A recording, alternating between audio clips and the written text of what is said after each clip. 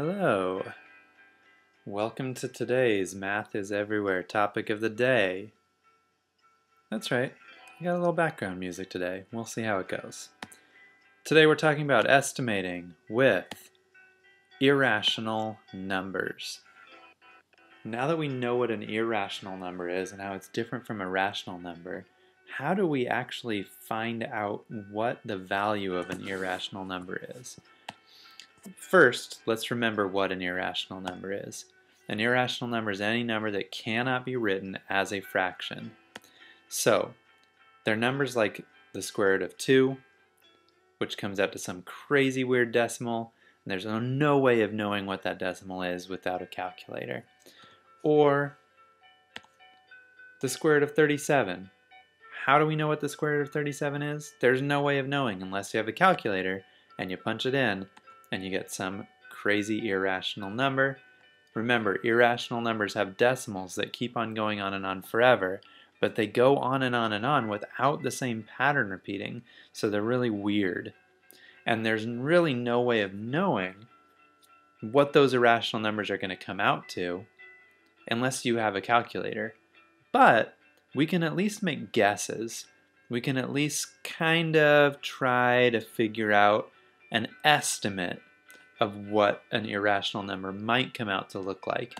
And that's what we're going to talk about today. What if you had the square root of 10? 10 is not a number that we can square root because nothing times itself equals 10. There's no matching numbers that you could multiply together that would make 10. Sure, you could do 2 times 5, but 2 and 5 are not matching numbers.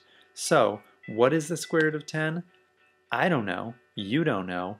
So we're going to have to make an estimation on that root since it's an irrational number. How do we make that estimation? Well, let's try this. An estimation doesn't have to be perfect, so let's compare the square root of 10 to something that's slightly smaller, like the square root of 9, or maybe something that's slightly larger, like the square root of 11.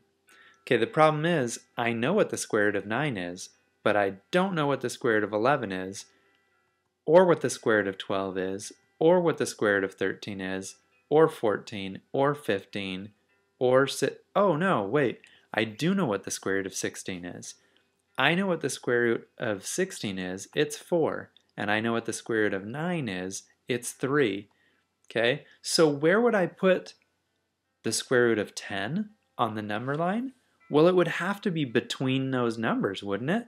Since the square root of 10 is between the square root of 9 and the square root of 16, I'm going to have to go somewhere between 3 and 4 on the number line. Where? I don't know. Right in the middle? Well, is the square root of 10 right in the middle of the square root of 9 and the square root of 16?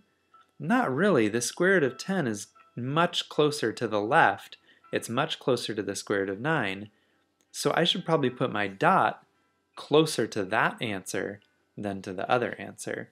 So what would be a good estimate for the square root of 10? Well, it would be a number near where that dot is. So I'm not going to say 3 and a half because it's not halfway between the 3 and the 4. I'm going to say maybe approximately 3.1 or you could say approximately 3.2, maybe approximately 3.3. Any of those would be good estimations of what the square root of 10 comes out to. If any of that didn't make sense, take a second to pause this and rewatch what this just said. All right, let's move on and let me give you kind of the steps that I followed there. Let's say, for example, you're trying to find the square root of 38, and we're going to give it an estimate. The first thing I did was, let's count up until you hit a square root that works. In this case, 38 doesn't have a square root, 39 doesn't have a square root, 40 doesn't have a square root, 41 doesn't have a square root, 42, 43, 44, 45, 46, 47, we have to count pretty high until we find a number that has a square root. 48 doesn't have a square root. Okay, 49. We have to count all the way up to 49 before we hit a number that you can square root. But we did that. Can we count down from 38? Yeah, 38, 37, 36, and we're done because 36 has a square root. Okay, so square root the high and low numbers. Square root the 36 that we counted down to. Square root the 49 that we counted up to. 36 has a square root of 6. 49 has a square root of 7. And our last step is our estimate should be somewhere between those two numbers. Somewhere between 6 and 7. In this case, again though, am I going to choose perfectly in half, like 6 and a half? That's between 6 and 7. But the square root of 38 was a lot closer to the square root of 36 than it was to the square root of 49. So my estimate, okay, should take that into account. Did I count up more or did I count down more? Pick an estimate that's closer to one or the other. In this case, I would say the square root of 38 is closer to the square root of 36, so my answer is going to be closer to 6. Maybe 6.2 or 6.3 or something like that. Okay, let's just try one more to make sure we really got this down. You don't have to write this one down, just watch and make sure it makes sense. Step 1, count up. Does 6 have a square root? Does 7 have a square root? Does 8 have a square root? Oh, 9 has a square root. That works. Now I'm going to count down. Oh, I only had to go one because 4 has a square root, which is 2. 9 has a square root, which is 3. And I just have to go somewhere in between. Again, should I go up? No.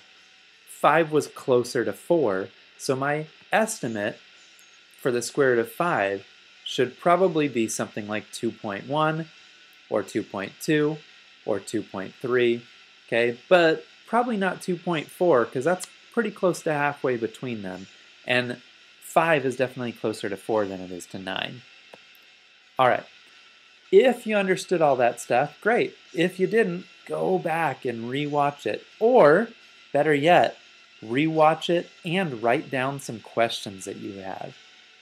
Okay? You in your math journal, in your notes for this video, are more than welcome to write down questions about things that were confusing to you. So please do. Once you feel like you're ready, try this. Estimate the square root of 24, and then once you get your estimate, put it on the number line. Or put it on the number line first and then tell your estimate. But I want a point on a number line and I want an estimate. By the way, those wavy equal lines next to the square root of 24 just mean approximately equal to. It's kind of like saying not quite really completely totally equal, but approximately or kind of almost equal to. And that's all I have to say about that. So, thanks a lot for watching,